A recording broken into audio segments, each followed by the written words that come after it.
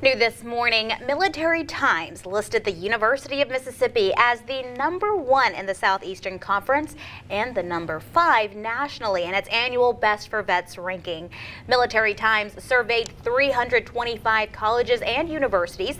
They looked at their resources, opportunities, and success rates for veterans. Military Times' ranking is a metric that potential students and families access a university's military readiness. Ole Miss previously ranked in the top 20 25.